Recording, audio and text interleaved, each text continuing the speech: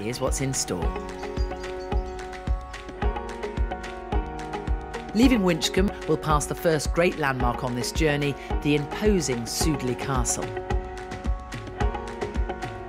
A gentle ascent over fields and farmland opens up the full glory of the hills, taking us to the most important ancient monument in these parts. Belas Knap, the mysterious Stone Age burial chamber.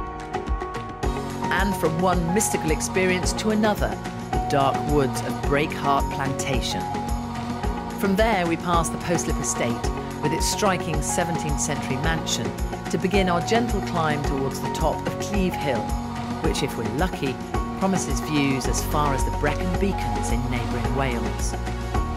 A splendid six mile walk.